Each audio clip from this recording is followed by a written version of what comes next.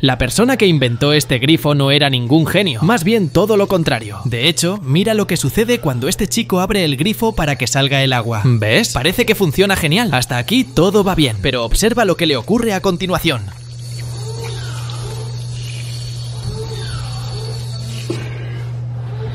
El grifo atrapó a este chico para siempre.